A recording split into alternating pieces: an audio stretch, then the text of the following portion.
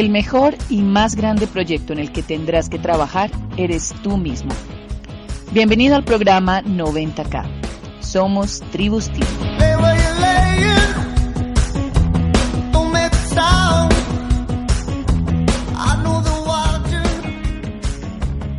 Así que muchas gracias. Y pues nuevamente a sus diamantes y sus esmeraldas por, por eh, recibirnos, abrazarnos aquí y, hacernos sentir que somos bienvenidos.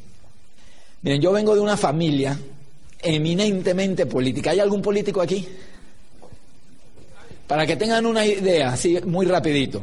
Mi abuela fue la primera mujer en ser ministro en toda América, incluyendo Estados Unidos, en 1940.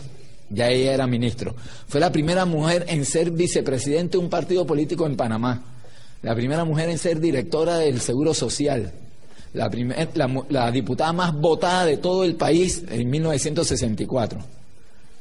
Hubo gente muy cercana a una persona, a un presidente. Esos son mi papá y mi mamá, ya tiene 91 años. Estaba bastante delicado, pero ahí todavía está. Y mi mamá tiene 90 y está excelente. E ellos dos quizás fueron la, las personas más cercanas a uno de los caudillos más grandes que ha tenido mi país. Fue cinco veces candidato, tres veces fue presidente, las otras dos veces le robaron las elecciones. Fue de esa gente que, que revoluciona un país durante toda una generación, ¿no?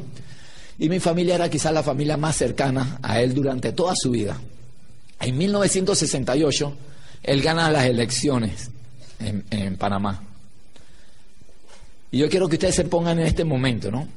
Mi abuela, vicepresidenta del partido, y es nombrada directora de la Caja del Seguro Social. Tenía, mi papá era diputado. Una hermana de mi mamá era diputada, habían ganado las, elecciones.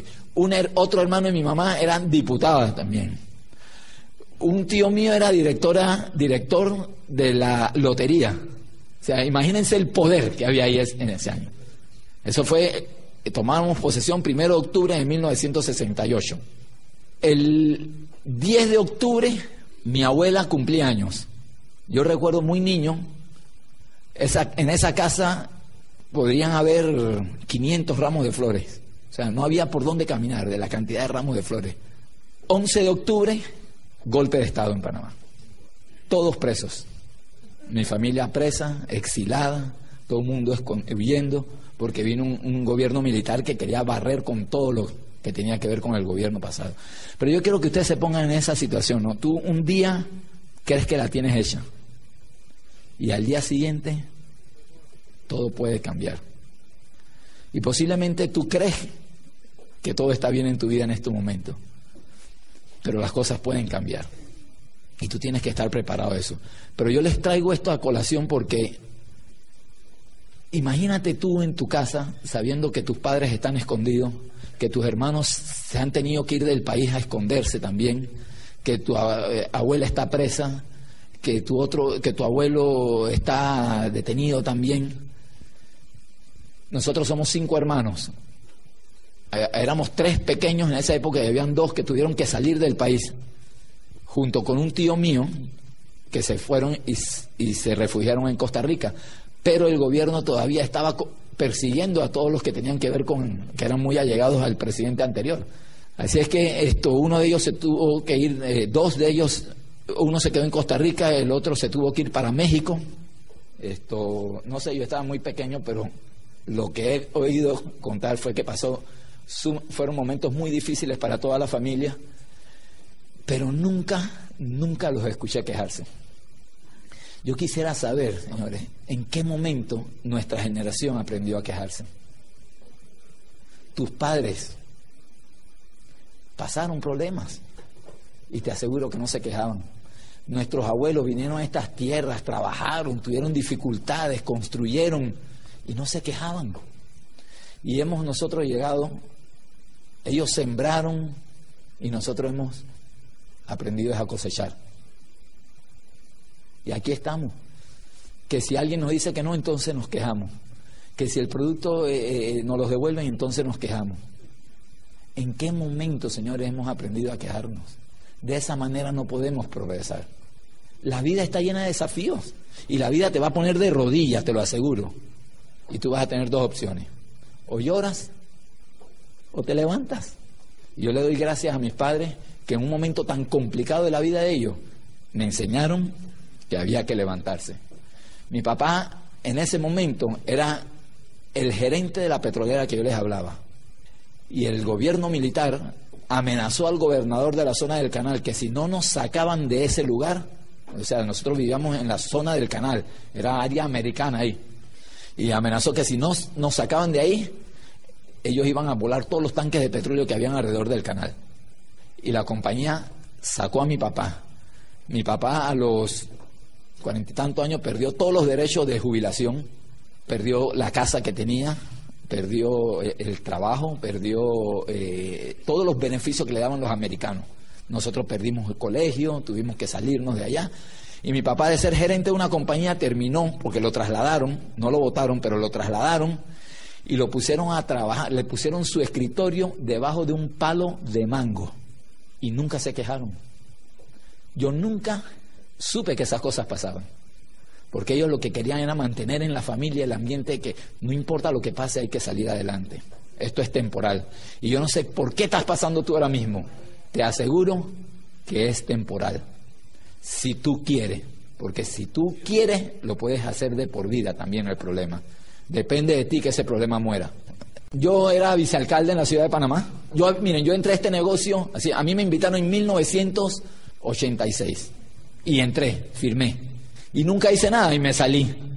Después de ese momento a mí me invitaron cerca de 16 veces y 15 de ellas no solo le dije que no a la persona que me invitaba, sino que les hice ver por qué ellos tenían que salirse de esto. Yo quiero que tú te imagines, ¿no? que tú, tú llegas, imagínate tú llegando a donde el vicealcalde de la ciudad de Panamá a decirle, mira, eh, tengo esto, y yo le digo, ven acá, siéntate, déjame explicarte por qué esto no funciona. Tú salías ahí, te, ya, rajado, ¿verdad? La 16 vez mi hermano, mi hermano, que era un biólogo marino, metido en las montañas cosechando café con una barba de este tamaño, que su, el tipo más huraño que yo conocía, que su tesis había sido el comportamiento de los caracoles. Imagínate, eh, eh, debajo del agua, o sea, era abuso y su tesis la hizo de cómo se comportaban los caracoles debajo del agua. ¿Tú te imaginas la paciencia? No, los amigos de él eran los caracoles, pues. y él llega un día y me dice, Alfredo, esto, estoy desarrollando un proyecto, tú estás teniendo éxito, me gustaría sentarme contigo para que lo oyeras y me dieras tu opinión. Y yo fui. Y ahí estaba Carlos Jurado, que fue el que me explicó el negocio. Yo no me acuerdo qué fue, ni por qué quise entrar, ni, yo no me acuerdo de nada. La gente me dice a veces, pero recuerda por qué tú entraste al negocio. A ustedes le dicen eso, ¿verdad? Bueno, yo no me acuerdo por qué yo entré. ¿Qué me motivó a mí? No me acuerdo. Yo lo que sí tengo presente es por qué no debo salirme. A mí no me importa por qué yo entré. Ya eso fue en un momento. Yo lo que tengo presente es por qué no debo salirme. ¿verdad? La cosa es que entramos, empezamos a hacer esto de la manera más loca que tú te puedes imaginar Años después me enteré que los líderes ahí decían esto, van a acabar con este negocio. Pasábamos por tarima todos entusiasmados, éramos cuatro hermanos haciendo, entonces pasaba uno eh, nuevo 12%, después pasaba el otro, porque todos estábamos uno debajo del otro. O sea, uno auspició al otro, que auspició al otro, que auspició al otro. Entonces pasaba uno 12% y después venía el otro todo entusiasmado de 12% y después venía yo nuevo 12% y después venía el otro Armodio nuevo 12%. Entonces todos entusiasmados Después yo me di cuenta que los de abajo decían, aquí nada más hay uno trabajando, que, es Armodio. Porque si todos estaban al mismo nivel, había uno que lo estaba empujando, ¿verdad? Pero la inocencia uno, uno no ni sabía y uno se entusiasma y ese, en ese entusiasmo hicimos todo lo que no se debe hacer en este negocio, las locuras que hicimos. Pobre Carlos y Yamín Jurado. Abrió, yo empecé en el 95, en el 96 abre Costa Rica y agarramos y dejamos todo renunciamos. Eh, yo acababa de comprar una casa, ah, no tenía ni 15 días de haber comprado los muebles, los vendí todos para tener plata e irme para Costa Rica y me fui. Yo estaba soltero y me fui para Costa Rica. Y ahí comenzamos, hicimos de todo, miren, en Costa Rica nos pasó de todo. Yo no sé si aquí pasan cosas, aquí, aquí hay gente que, que todavía dice que esto es satánico. Bueno, en Costa Rica, señores, el 99% de las objeciones de la gente no era no tengo tiempo, no era no tengo dinero, era esto es satánico.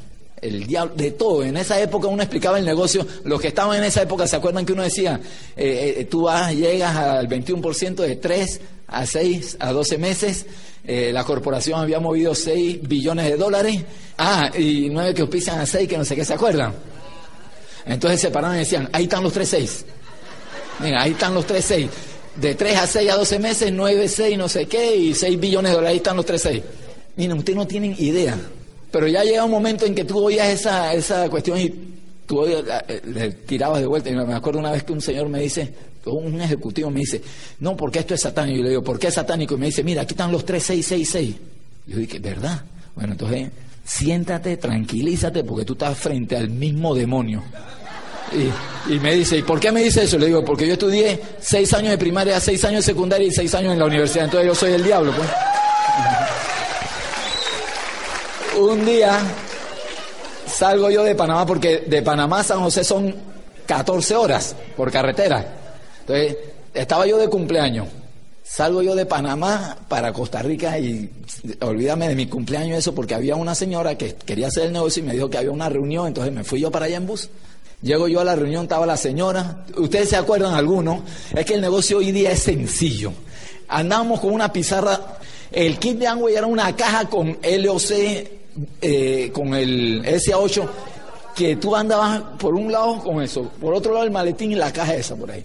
Y cuando estabas en otro país, que tú no sabías ni para dónde ibas, andabas tú con eso. Te montabas en un bus, pasa por ese pasillo con todas esas cosas te bajabas y había brisa y tú parecías era un barco de vela con esa, con esa pizarra. Y llego yo a esa casa y estaba la señora, pongo yo la pizarra, pongo mi esquina en una esquina eh, y abro mis libros y mis cuestiones lleno de cassette de esa manera y empiezo yo a explicar eso y baja el dueño, o sea, el esposo, que yo no sabía ni siquiera que estaba casada.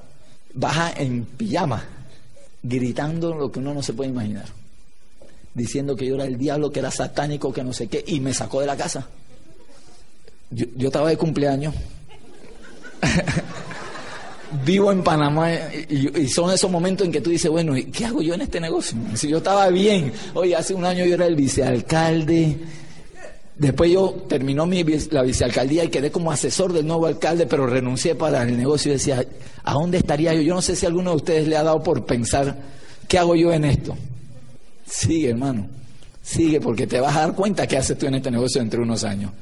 Oye, y yo me acuerdo estando en, San José hace frío, yo vengo de calor, allá afuera con un frío y el tipo gritándome allá del otro lado de la calle, yo le decía, está bien, señor, está bien, tiene toda la razón, yo soy el diablo, pero devuélvame mi pizarra y mi maletín que están, se me quedaron. Oigan, me tuve que devolver yo no sé dónde está ese maletín, no sé dónde está ese kit, ni sé dónde está esa pizarra. Me tuve que devolver para Panamá sin nada. Pero cuando pasan esas cosas, tú tienes dos opciones. O lloras o sigues. Y si lloras, perdiste. Si lloras, perdiste. Tienes que seguir adelante. Entonces, esto, bueno, después anuncian que va a abrir Colombia. Y entonces Carlos Jurado nos dice, quédense aquí, que quédense aquí dice Carlos Jurado que él lo menos que quiere es que algún día digan va a abrir Perú o va a abrir, porque él sabe que nosotros agarramos y nos vamos. Entonces agarramos y nos fuimos para Colombia. Llegamos allá en 1996 para la apertura, empezamos a trabajar el negocio. Yo llevé una lista de, de contactos. Bueno, en Costa Rica estuvimos viviendo en un año en tres apartamentos diferentes. No era porque no nos gustaba el área, sino porque no había cómo pagar. Entonces, dábamos tres, cuatro meses en un lugar y teníamos que irnos para otro lugar. Miren, yo tengo, hoy día tengo propiedades de alquiler y cuando alguien se va sin pagarme, yo digo, la estoy pagando, mano. Todas las que hice. Todo se te paga aquí en, esta vida, mano. Y, y entonces nos fuimos para Bogotá. Armodio llegó primero a Bogotá, después llegué yo. Y vivimos ocho años allá en Bogotá. O sea, hicimos casi vida allá, eh, el negocio allá es espectacular, el liderazgo que hay en Colombia es excelente y nosotros empezamos a hacer las cosas, estábamos trabajando y trabajando y en ese proceso todos los errores que tú te puedas imaginar, nuestros nuestro equipos de apoyo estaban en Panamá o en Atlanta. Así que nosotros estábamos allá como quien dice, solos construyendo, salvo, y yo no sé si ustedes se acuerdan, a veces duele acordarse porque nos hace sentir un poco viejo, que en esa época no había ni celular ni internet. Así es que tú hacías un contacto y vas a dar un plan, y si era a tres horas, mejor es que estuviera la gente, porque en esas tres horas de camino tú no tenías forma como comunicarte para saber si, si te habían cancelado o no te habían cancelado. Ahora todo es sencillo, ¿verdad? Ahora uno se puede evitar un montón de esos problemas. Pero bueno, llegamos a Colombia, empezamos a hacer el negocio y allá en Colombia nos tomó en el 96 y en el 99 calificamos platino. Ah, aquí en, Costa Rica habíamos calificado platino, el, plata el primer mes que abrió. Y calificamos seis meses platino. El negocio iba bien, pero nos dio por irnos para allá. Y allá empezamos y nos tomó tres años calificar. Llegué con una lista de 15 personas y a la semana estaba yo en una ciudad con un maletín, con la lista borrada, todo el mundo me había dicho que no, con 8 grados de temperatura, mirando para un lugar porque no tienes idea, es una ciudad, Bogotá solamente es una ciudad de 10 millones de habitantes. Allá hay barrios de un millón de personas. Eso es gigante. Tú vienes de una ciudad donde hay eh, en un país donde hay 3 millones de habitantes y te vas a un lugar donde un barrio tiene un millón de habitantes. Entonces eso era, no sabías ni para dónde ir ni nada. Yo estaba viviendo en un apartamento arrendado.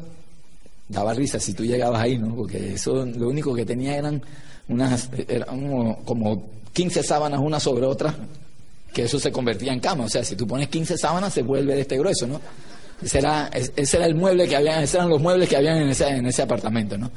En Colombia pasaron muchas cosas. A veces trato de recordar las cosas que nos pasaron, pero con el disfrute de este negocio uno se va olvidando de eso, ¿no? Y yo te cuento estas cosas no es para que tú pienses que tú las tienes que pasar. Eso, o sea, tú vas a tener que pasar lo que tú tienes que pasar. Y si es nada, te felicito. Pero si son desafíos más fuertes, pues son los desafíos que tú tienes que pasar. Y son los desafíos que Dios o la vida te está poniendo, porque son los desafíos que tú necesitas tener para avanzar. Es como, como esto que está aquí. Si yo fuera una hormiga, ¿esto qué es para mí? Es una pared, es un obstáculo.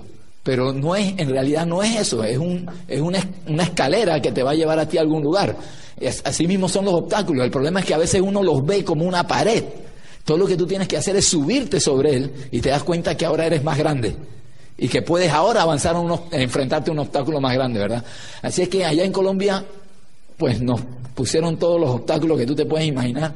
Esto, ¿qué recuerdo? Recuerdo una vez que fuimos, aquí las convenciones son viernes y sábado.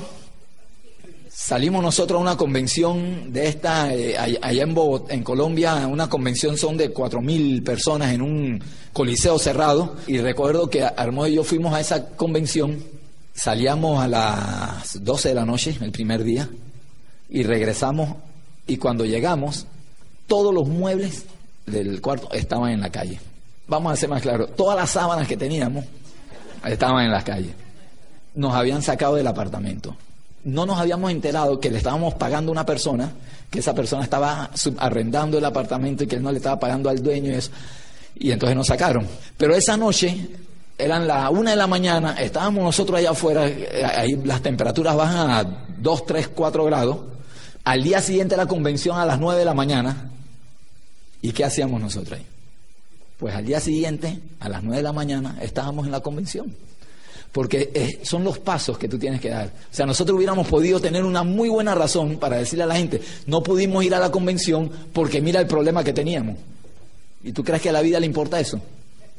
A la vida no le importan tus problemas. A la vida le importan son las decisiones que tú tomas cuando tienes que enfrentar esos problemas.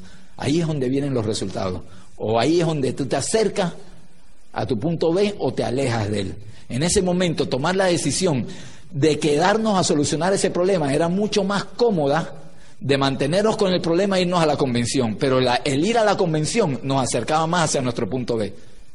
Ahora, ay, cuando tú tienes claro tu futuro, ¿qué importa lo que te pasa en el presente? Cuando tú sabes hacia dónde vas, ¿qué importa el camino? Cuando tú sabes hacia dónde vas, ¿qué importa el camino? Pero cuando la vida te pone de rodillas y te va a poner de rodillas, tú tienes dos opciones. O te levantas o te sientas a llorar. Si te sientas a llorar, perdiste. Si te levantas tienes una nueva oportunidad. Pero hubo momentos duros, hubo momentos, yo quiero que tú te imagines, tú en, un lugar, en un cuarto, en un, en un apartamento pequeño, viviendo con tus downlines, porque estábamos Armodio y estaba otro downline de nosotros viviendo, ¿cómo tú expresas la frustración que tú tienes? Si tú no puedes pasarle eso a, la gente que está contigo. Entonces es, llegar, varias veces llegaba yo y me encerraba en, en, un cuarto que teníamos, me encerraba en el closet a llorar ahí para que mi hermano no me oyera, porque si me oía, él se desmotivaba. Y hubo veces en que mientras yo estaba en ese cuarto, él estaba en el de llorando. Y ni yo me enteraba y él no se enteraba que yo. Pero seguíamos adelante. Seguíamos adelante porque ya habíamos puesto esto como nuestro objetivo y ahí estábamos trabajando. Que si hubo momentos de frustración, que si hubo momentos de motivación, claro. Miren, ¿hay alguno de ustedes que ha pensado alguna vez rajarse de esto? No te asustes por eso. Yo me he rajado de esto todos los días de mi vida. No, te estoy diciendo cuento, pero todos los días tomo la decisión de aguantar un día más. Gracias a Dios que esa ha sido mi decisión. Porque yo soy una persona quizás mucho más débil que tú. Yo soy una persona posiblemente mucho más débil que tú en la toma de decisiones. Entonces yo necesito estar tomando decisiones todos los días.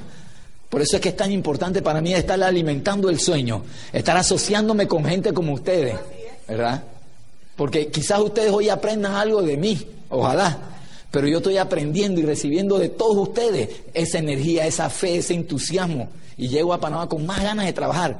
Yo no me puedo despegar un segundo de esto, porque me, me hundo. No te, no te va a pasar a ti, quizás yo soy una persona débil de carácter, pero independientemente de eso, fíjate que se puede hacer este negocio, se puede lograr. Varias veces, a ustedes cuando están por ahí por la calle hay gente que le llega y le pide plata. Varias veces a mí me llegó gente, mientras yo estaba esperando un bus, con mi maletín, me llegaba gente que le diera plata. Y yo le decía, no tengo. Y me insultaban. Y cuando se iban yo le decía, si, si supiera que él debe tener más plata en estos momentos en el bolsillo que yo pero era temporal. Eh, hace un rato cuando les dije que montense en el bus y vayan, bueno, ¿cuántas veces yo me montaba en el bus, me sentaba y me imaginaba que iba manejando un BMW? Años después, cuando me compré un BMW, me di cuenta que en aquel momento ya era mío. Y, una vez iba en ese bus con un invitado, íbamos para la OE, iba con el invitado y había, estaba lloviendo fuerte y había gente esperando eh, en las paradas de buses para coger el bus. Y yo le digo, le dije, mira, ven, mira esa gente esperando bus, ahí toda la vida esperando bus. Hay que cambiar eso. Y él se me queda viendo, iba, iba invitado y se me queda viendo y me dice, ¿tú no te has dado cuenta que tú también vas en bus? Y le dije, sí, pero lo mío es temporal y te lo puedo firmar. Lo de ellos es de por vida. Y si tú estás pasando un problema, lo puedes hacer temporal o lo puedes hacer de por vida, porque la decisión es tuya, no de nadie. Y cuando la vida te pone esos desafíos, tú tienes dos opciones.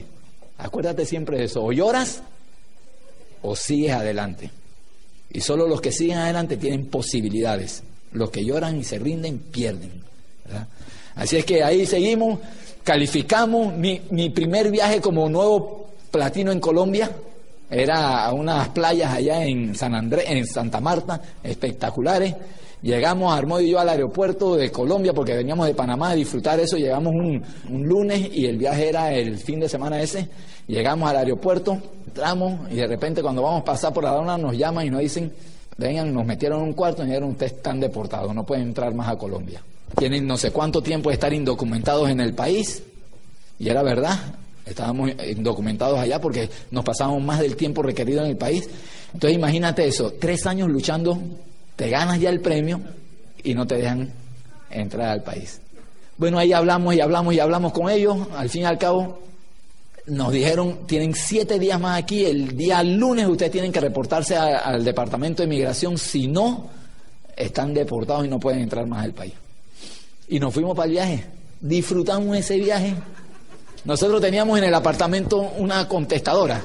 Tú llamabas y ese teléfono decía, ¿qué tal, cómo estás? En estos momentos no nos encontramos en casa. Tan pronto podamos, te devolvemos tu llamada. Que tengas un excelente día. Y cuando regresamos del viaje, estaba la lucecita prendida. Que había mensajes, entonces pensábamos que era mensaje de Panamá. Porque en Panamá pensaban, nunca se enteraron, mi papá y mamá nunca se enteraron que nosotros estábamos pasando por esas cosas.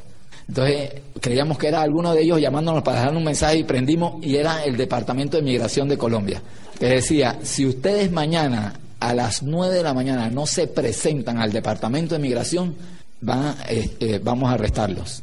Y después terminaba, decía, que tengas un excelente día. Así nos puso, el condenado nos puso así, para burlarse, que, que tengan un excelente día. Bueno, yo hasta hace como unos años tenía en mi maletín, lo, llevaba de recuerdo, la nota donde, mm, con una foto, porque nos tomaron, nos hicieron sentarnos en la acera, nos tomaron la foto ahí como delincuentes y nos deportaron, ¿no? O sea, y decía, el documento decía, por estar ilegalmente en Colombia ejerciendo el negocio de Amway. Ay, yo llevaba eso con orgullo. Decía, si es por mi futuro que me pasa esto, que pase dos veces. Y le dije al, señor de ahí, yo vuelvo a Colombia. Y me dijo, me dijo así, yo, yo, no, yo me voy a encargar de que ningún montaner vuelva a pisar Colombia. Eso fue agosto. Octubre me están nombrando embajador de Panamá en Colombia. Ay, Dios mío. ¿Cómo es la vida? Yo había jurado de que yo iba ahí donde el tipo a decirle, ¿tú qué dijiste? Nunca fui. Porque la venganza, no, tú sigue tu camino. Yo estoy seguro que él vio varias veces en los periódicos o, vio en la presidencia o cosas que yo estaba ahí. Y yo estoy seguro porque yo sí lo vi, que nunca se atrevió a irme a saludar. Y así el mundo cambia. Cuando tú crees que tú estás de rodillas, el mundo, si tú sigues tu sueño, el mundo te leva, el mismo mundo, la misma vida te levanta. Así es que no se preocupen. Si tú sientes que estás de rodillas, tranquilo, vienen mejores momentos si te mantienes en el camino. Ahí pasaron cosas muy buenas de haber sido deportado, ahora estaba en la presidencia dando una conferencia. Y en una de esas cosas de la vida, conozco a Juliana y les voy a decir para que ustedes vean cómo la vida es un hilito. Venía yo de una OE, por eso sí te digo, mientras fui embajador no me perdí de un seminario, no me perdí de una convención, porque cuando tú tienes tu camino claro, o tu punto B claro, tú sabes que cualquier otra cosa puede ser bueno, pero va a interrumpir tu camino hacia el éxito, ¿verdad? Así es que nos fuimos, no me perdí ninguna actividad durante esos años.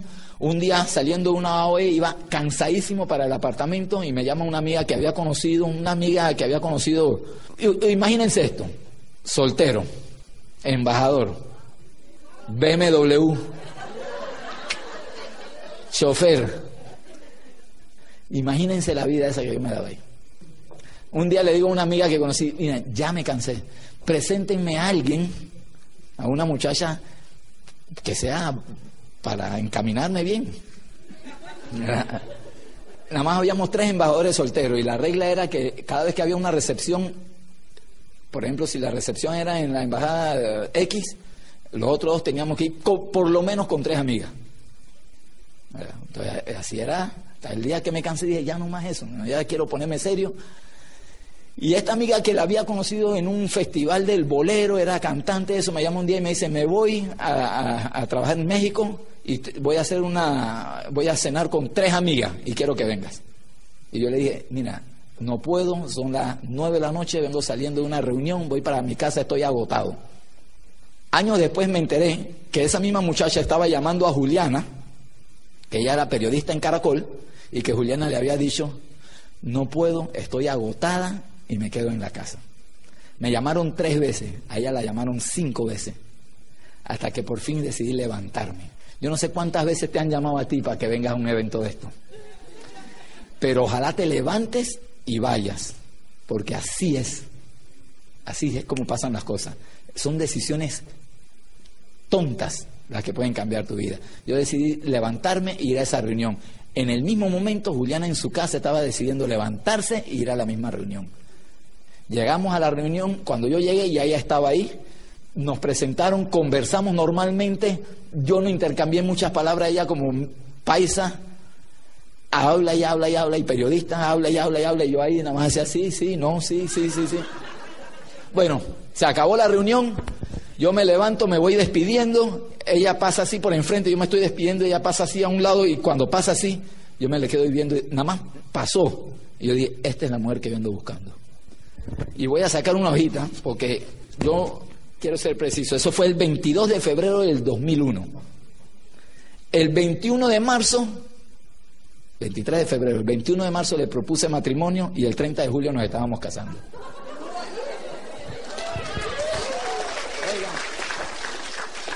Haz lo mismo con este negocio.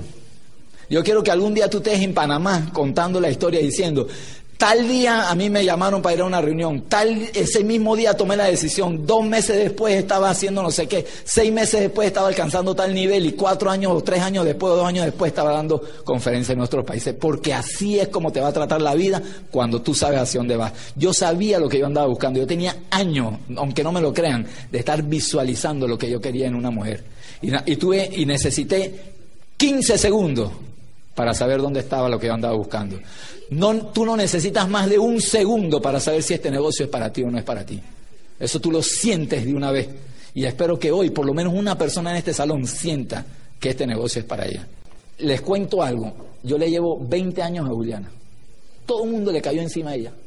¿Cómo es que, imagínate tú, 20 años, el embajador, este debe ser un, debe tener tres divorcios, eh, debe tener hijos por todos lados, lo acabas de conocer y ya te estás casando. O sea, toda la familia, todo el mundo le cayó, igual que te va a caer a ti cuando tomas la decisión de hacer esto.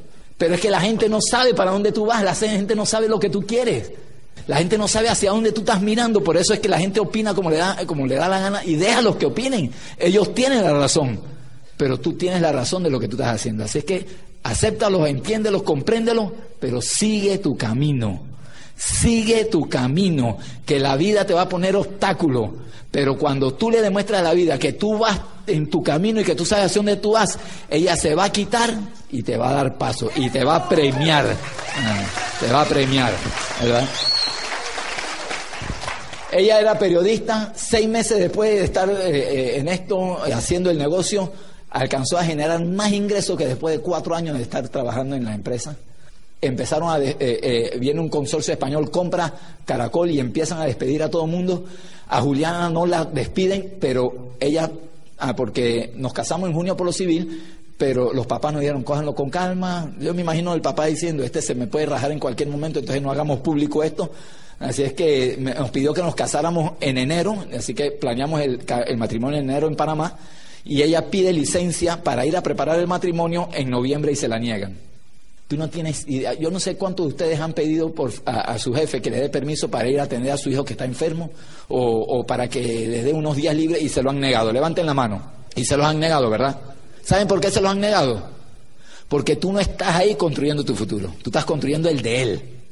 Y él, ah, no quiero ser tan duro, pero él es dueño de tu vida. Hasta que tú le sirvas en el proceso de construir su futuro. El día que no le sirve, fuera, ya no vales para ello. Pero tú no tienes idea lo rico que es estar trabajando en un lugar, aunque te guste ese lugar, y tener paralelo algo que te ayude a recobrar tu dignidad de ser humano. Que cuando te nieguen algo tú digas, hasta aquí, me voy porque yo puedo vivir sin usted. Y eso fue lo que hizo Juliana. Todo el mundo le cayó encima. Entonces los papás le dijeron, toda la vida estudiando, estás en una posición que todo el mundo, ah, eh, eh, mi, esposa trabajaba con todos los grandes de... ella creció escuchando a esa gente en la radio y ella trabajaba con ellos ahí. Y renuncia, entonces todo el mundo le cayó encima. ¿Cómo haces esa locura y por, por vender jaboncito? Mira, yo era embajador y Juliana le hacía demostraciones de producto a las esposas de los otros embajadores. Y sabes la opinión que tenía la gente de, ella y de mí, por eso. Los, familiares de ellos lo que decían, los amigos de ella lo que decían, ¿qué haces tú rebajándote a ese nivel? Pero nosotros estábamos claros hacia dónde íbamos. Y la burla fue tenaz. Antes la burla era porque no teníamos nada, ahora la burla era porque lo teníamos todo y seguíamos haciendo el negocio. Pero tranquilo, cuando tú sabes hacia dónde tú vas, eso se te resbala. Duele, pero se resbala. Mira lo que pasa con una decisión. Mira lo que me pasó a mí por la decisión de levantarme esa noche. Tú no tienes idea de la vida que yo tengo. Mira esos niños. Esos dos son mellizos. Y esa que no la esperábamos, yo me imagino que ella dijo, allá en el lugar donde estaba, yo dijo, yo quiero estar en esa familia. Y vino sin pedir permiso, otra luz más en ese, en esa casa. Eso, esto, mira que, que eh, nos, nos casamos. En mi periodo como embajador llegaba hasta noviembre del 2004, pero uh, Juliana queda embarazada y los niños van a nacer en enero del 2004. Mi periodo duraba hasta agosto del 2004. En noviembre de 2003 yo renuncié a la embajada. Y miren una cosa, yo no renuncié a la embajada, yo renuncié al chofer, al reconocimiento, al estatus, a los 10 mil dólares, al BMW. ¿Y saben por qué renuncié con tanta tranquilidad, con tanta claridad? Porque gracias al negocio tenía la posibilidad de hacer el sueño ese que yo cuando me dieron el plan dije, papá tiempo completo, sin jefe y sin horario, ¿se acuerdan? Mis hijos iban a dar clase y ese era mi sueño, ser papá tiempo completo. ¿Y por qué se lo digo? Porque yo, mis papás trabajaron muy duro. Yo no sé si eso la pasado. Yo hice muy buen deporte. Y siempre que yo entraba a una cancha, miraba las gradas y nunca vi a mi papá. Nunca. Y yo no les critico eso, ellos estaban tan ocupados tratando de construir nuestro mundo, nuestro futuro, nuestra casa, nuestro hogar, que no tenían tiempo para estar con nosotros en esas cosas. Y yo me prometí desde esa época que el día que yo fuera papá, yo tenía que ser papá tiempo completo. Y ese día renuncié y desde ese día, noviembre de 2003, ni mi esposa ni yo hemos tenido que salir a buscar un trabajo. Gracias no solo a los ingresos que me ha dado este negocio, sino a la capacidad que me ha dado, la capacitación que hay en este negocio para hacer con el dinero que me entra más riqueza todavía. Por eso es tan importante el entrenamiento aquí, porque Amway te va a crear, te va a dar mucho dinero, pero el conocimiento te va a hacer libre, te va a hacer libre y tú no puedes negociar eso. Cualquier cosa que negocia te acerca más a la pobreza que a la libertad. Así es que ahí estamos, ese es Valentina, ese es Alfredo y Ana Sofía, está allá. Y Juliana les manda un mensaje. Este señor que está aquí se llama Leonel Messi. Y esto que está aquí eran los obstáculos que él tuvo que vencer para meter ese gol. Dice Leonel Messi, ¿qué significa imposible? Que nadie cree que puede hacerse. Hay mucha gente que te está diciendo que esto es imposible. Pensar imposible es una excusa para pararse aquí y para dejarse robar tu sueño. Cuando la gente, cuando tú dices que yo no puedo, te estás deteniendo y estás permitiendo que otros te roben el sueño. Es la fracción de segundo que necesita tu adversario, el que te está diciendo que no, para robarte el balón, para robarte tu sueño. Un segundo, una duda que tú tengas te van a robar tu sueño. Y mira lo que dice, ¿lo ves? Después de todo, no era tan difícil, era simplemente imposible. Llegar a diamante, pregúntale a, tus diamantes aquí. No era tan difícil, era simplemente imposible para mucha gente allá afuera. Pero para ellos, ¿qué fue? Posible. Y no importa qué obstáculo tú tengas, porque aquí estás tú hoy y aquí está tu punto B en la vida. Vas a tener que enfrentar obstáculos, como lo enfrenta cualquiera en su propia vida.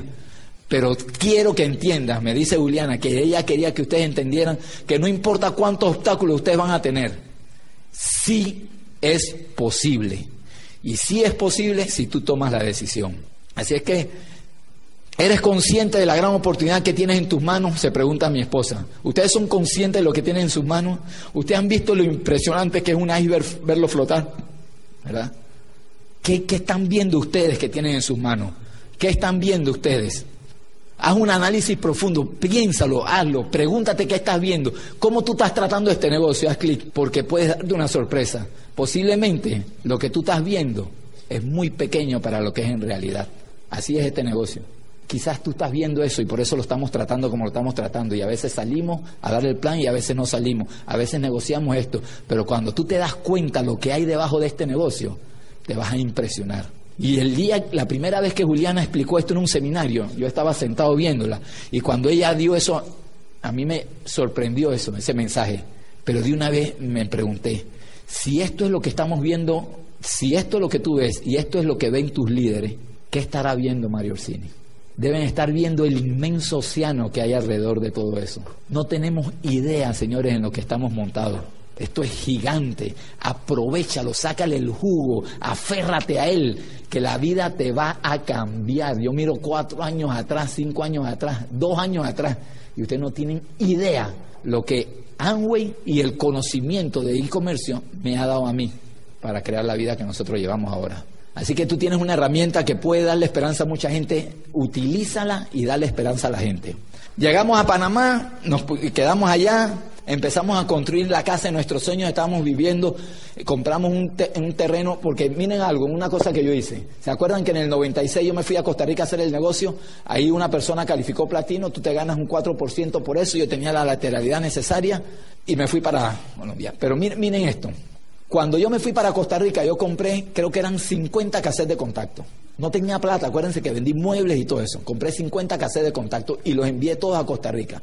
Una sola persona me llamó, que era un amigo mío que teníamos 10 años que no nos veíamos, y me llamó era para saber qué, cómo estaba yo y eso, no porque había oído el CD, el cassette. Y cuando yo le pregunto sobre el cassette, me dice, no, no, yo le escúchalo. Entonces lo escuchó y me llamó y fui de ese plan. Ellos calificaron 21% el primer mes y se hicieron platino seis meses después. Miren, señores, yo me fui para Colombia y después me nombran embajador y todo el dinero que a mí me llegaba de Costa Rica yo lo ahorré, lo. Ese negocio me ha producido a mí más o menos entre 800 y 1000 dólares mensuales desde 1996. Y yo ahorré ese dinero durante todo ese tiempo. Para hacer, redondear los mil dólares por 12 meses, por 10 años. ¿Cuánto es eso? Si yo hubiera negociado esos CD y hubiera dicho, no, es que cuestan 5 dólares, mejor no los compro, esa persona no hubiera entrado y no me hubiera generado esa cantidad de dinero. Y tú estás aquí negociando 5 dólares de un CD que te están diciendo que compre. Y tú no sabes ese CD, el impacto económico que va a tener en, en los próximos 10 años en tu vida, si lo sabes utilizar. No jueguen con las herramientas de este negocio, señores. Cada herramienta tiene un objetivo claro para crear riqueza. Con parte de ese dinero llegamos a Panamá y nos compramos un terreno de 3.500 metros en el área más... ¿Alguno de ustedes conoce Panamá? ¿Saben dónde queda Amador? Unas islas que están llenas de yates y eso. Bueno, ahí fuimos, compramos eso y construí la casa de mis sueños con mi esposa. 500 metros cuadrados, eso fue en el 2005. En febrero del 2006, decisiones equivocadas financieras que tomé nos hicieron perder todo lo que teníamos. Miren, estoy hablando del 2006.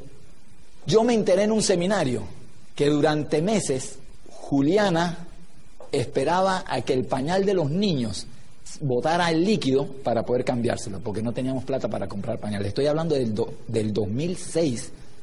La casa esa que construimos con tanto sueño y con tanto alboroto, la tuvimos que canjear por otras cosas para pagar las deudas. Hace tres meses atrás mi mamá se enteró que durante un año Juliana y yo no nos tomamos una soda, una gaseosa. No fuimos al cine.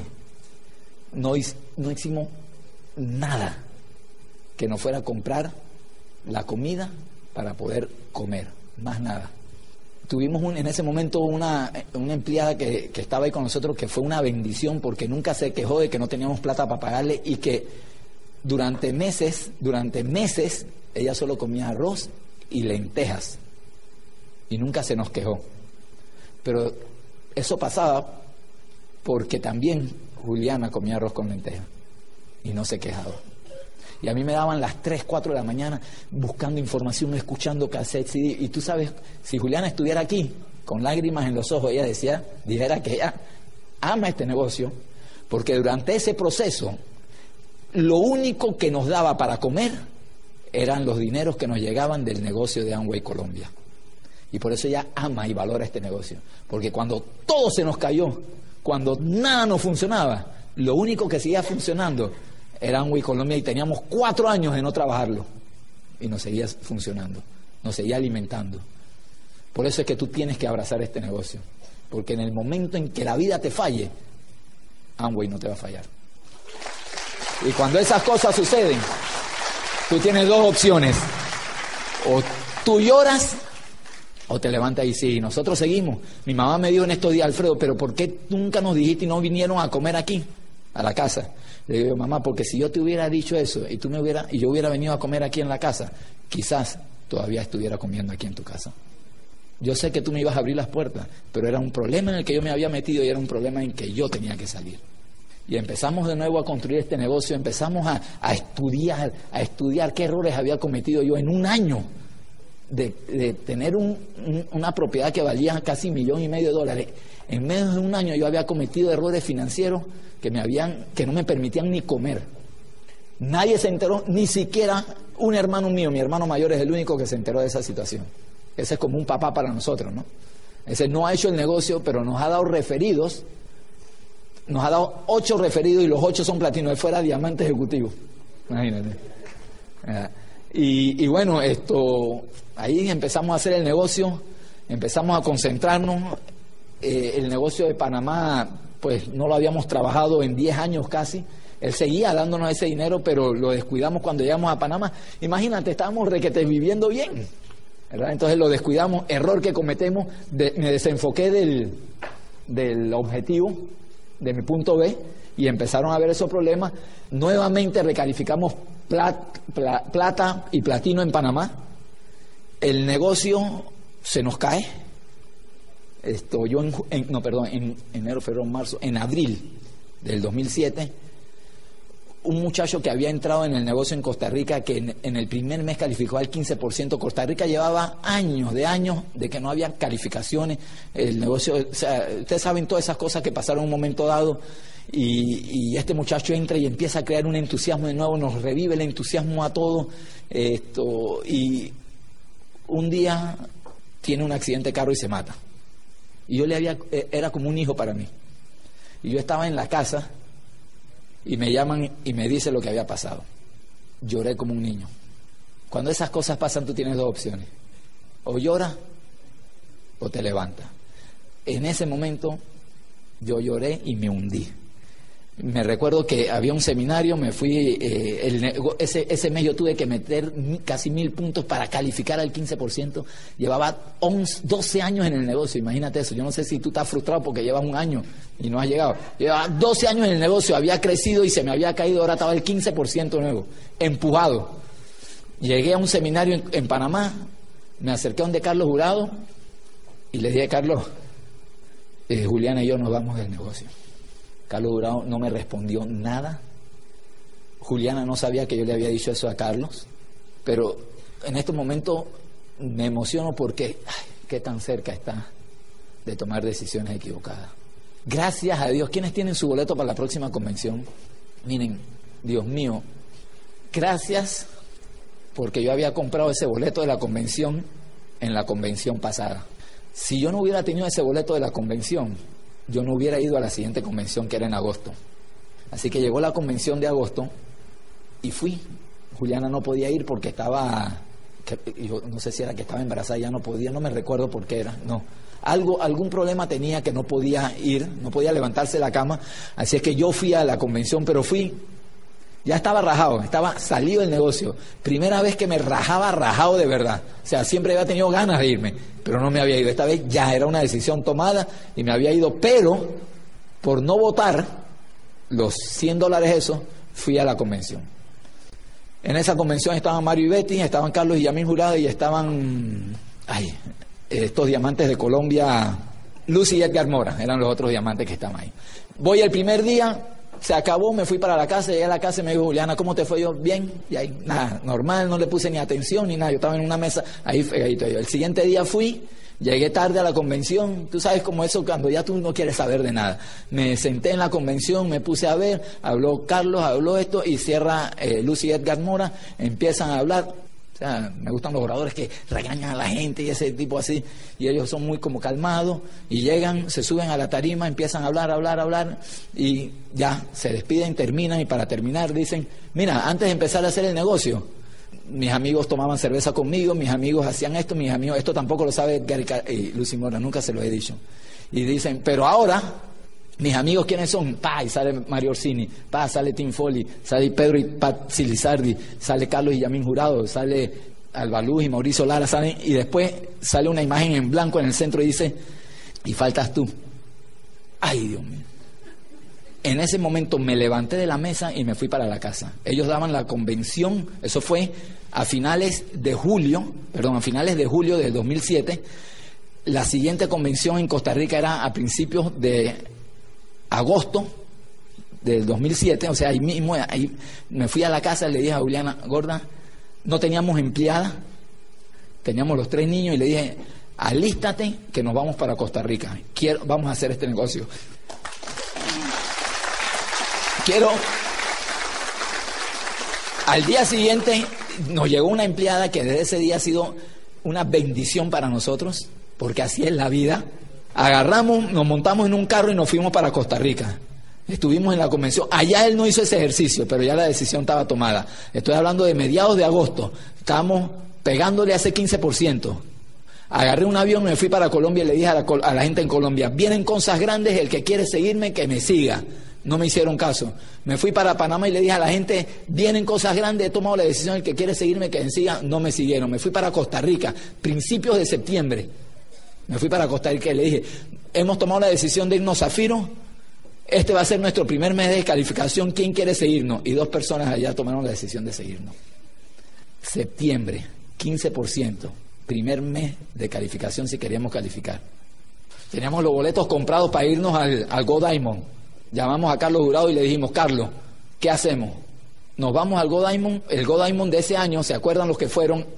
Era el último día de septiembre, los últimos días de septiembre, o sea, los días de cierre. Y le dije, ¿nos vamos o nos quedamos? que hemos tomado la decisión de calificar Zafiro. Y nos dice, ¿cuántas veces Carlos mí en 13 años, deben haberme escuchado prometerles que íbamos a ir a otro nivel? Y no le cumplíamos. Sin embargo, ellos nos dijeron, creemos en ustedes. Por eso es que yo te digo, por eso es que yo te digo, que abraces a la gente que cree en ti. Porque allá afuera no hay nadie que cree en uno. Y a pesar de todas las defraudaciones que le habíamos hecho diciéndole que íbamos, que íbamos y nunca lo habíamos, creían todavía en nosotros. Y nos dijeron, Alfredo, si esa es tu decisión, no vayas a, al Godaimon, pero eso sí, hazlo, porque después vas a vivir frustrado por no hacerlo y por tampoco no haber ido. Y empezamos la carrera. ¿Cómo, ¿Cómo, la vida cambia cuando tú tomas una decisión? ¿Cómo todo cambia? Todo lo que había parecido imposible durante 12 años empieza a convertirse en posible y empezamos a nosotros a construir, iba todos los días a Costa Rica, venía a Panamá, hacía esto, hacía lo otro. Día de cierre, una pata al 18%, la otra al 9% y la lateralidad con mil puntos. Ustedes saben que para hacer zafiro hay que tener dos patas 21 durante seis meses y por lo menos cuatro mil laterales. Día de cierre. Allá cierra el almacén a las 5 de la tarde. A las 3 de la tarde, una pata al 18 y la otra al 15 y mil puntos laterales. Día de cierre, 5 de la tarde, una pata calificada y la otra al 15 todavía y como dos mil puntos laterales. Cerró el almacén y yo me quedé adentro. Costa Rica cierra una hora después que nosotros, por el cambio de hora, y yo me quedé adentro. Y eran llamadas y llamadas y llamadas y llamadas, pero es increíble cuando tú tomas la decisión, cómo todo cambia en tu cuerpo, en tu energía, en la energía de la gente que te rodea.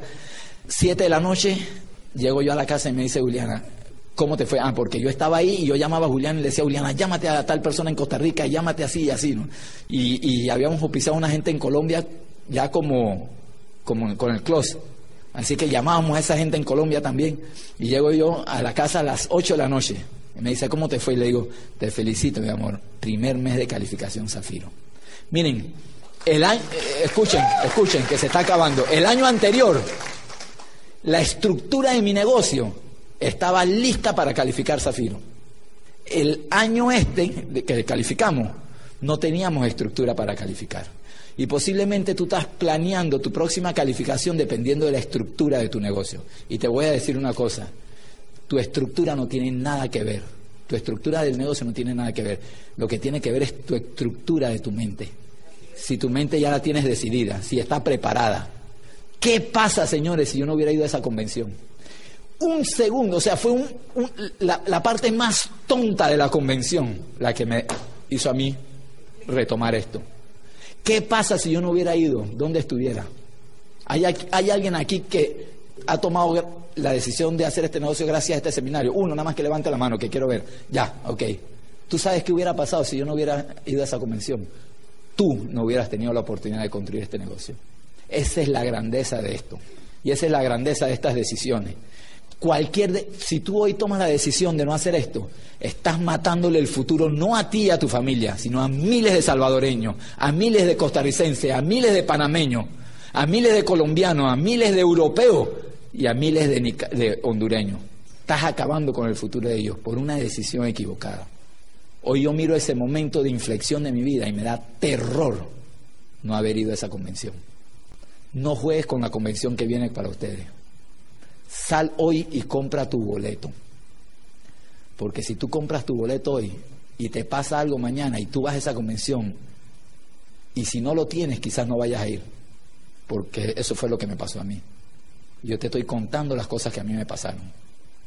Eso nos ha traído todo un mundo, empezó a cambiar todo alrededor de mi vida, empezamos a tomar decisiones correctas con el dinero que entraba y hoy hemos construido un, eh, en un año nuestra vida ha dado un giro radical. Y siempre nos dijeron, nos vamos a ver en los aeropuertos del mundo. Y era verdad. La gente te lo dice y parece un eslogan ya hecho, y, pero es verdad, es verdad. Te vas a ver en las playas del mundo también. Esa es la casa nueva de nosotros. Esto la compramos hace, hace como tres meses. No es del banco, es de nosotros. Lo que hace un año parecía estar muerto, estaba vivo, pero necesitaba del abono tuyo, de tu creencia, de tu fe, de tu convicción y de tu trabajo para que eso se diera. Y aquí todo lo que ustedes ven, no importa cuántos diamantes ustedes tengan, está, está germinando.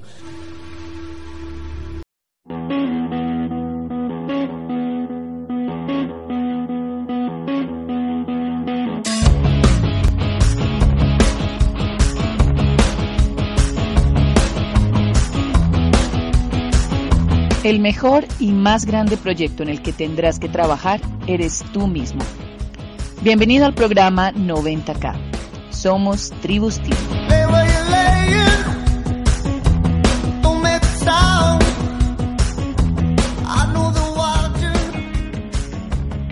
Así que muchas gracias. Y pues nuevamente a su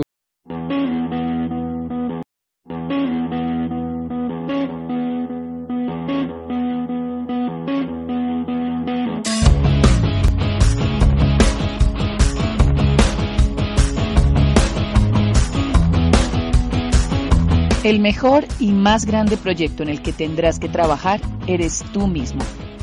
Bienvenido al programa 90K. Somos Tribus.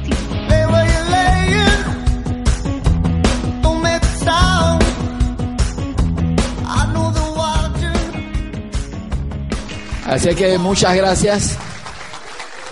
Y pues nuevamente a sus diamantes y sus esmeraldas por por eh, recibirnos, abrazarnos aquí y, hacernos sentir que somos bienvenidos. Miren, yo vengo de una familia eminentemente política. ¿Hay algún político aquí? Para que tengan una idea, así muy rapidito. Mi abuela fue la primera mujer en ser ministro en toda América, incluyendo Estados Unidos, en 1940 ya ella era ministro. Fue la primera mujer en ser vicepresidente de un partido político en Panamá, la primera mujer en ser directora del Seguro Social, la, la, diputada más votada de todo el país en 1964. Hubo gente muy cercana a una persona, a un presidente. Esos son mi papá y mi mamá, ya tiene 91 años. Estaba bastante delicado, pero ahí todavía está. Y mi mamá tiene 90 y está excelente. E, ellos dos quizás fueron las personas más cercanas a uno de los caudillos más grandes que ha tenido mi país. Fue cinco veces candidato, tres veces fue presidente, las otras dos veces le robaron las elecciones. Fue de esa gente que, que revoluciona un país durante toda una generación, ¿no? Y mi familia era quizás la familia más cercana a él durante toda su vida. En 1968, él gana las elecciones en, Panamá. Y yo quiero que ustedes se pongan en este momento, ¿no? Mi abuela, vicepresidenta del partido, y es nombrada directora de la Caja del Seguro Social. Tenía, mi papá era diputado. Una hermana de mi mamá era diputada, habían ganado las, elecciones. Un, otro hermano de mi mamá era diputada también. Un tío mío era directora, director de la lotería. O sea, imagínense el poder que había ahí en ese año. Eso fue, tomamos posesión primero de octubre de 1968. El 10 de octubre mi abuela cumplía años. Yo recuerdo muy niño, en esa casa podrían haber 500 ramos de flores. O sea, no había por dónde caminar de la cantidad de ramos de flores. 11 de octubre, golpe de Estado en Panamá. Todos presos. Mi familia presa, exilada, todo el mundo huyendo porque vino un, gobierno militar que quería barrer con todo lo que tenía que ver con el gobierno pasado. Pero yo quiero que ustedes se pongan en esa situación, ¿no? Tú un día crees que la tienes hecha y al día siguiente todo puede cambiar. Y posiblemente tú crees que todo está bien en tu vida en este momento, pero las cosas pueden cambiar. Y tú tienes que estar preparado a eso. Pero yo les traigo esto a colación porque Imagínate tú en tu casa sabiendo que tus padres están escondidos, que tus hermanos se han tenido que ir del país a esconderse también, que tu eh, abuela está presa,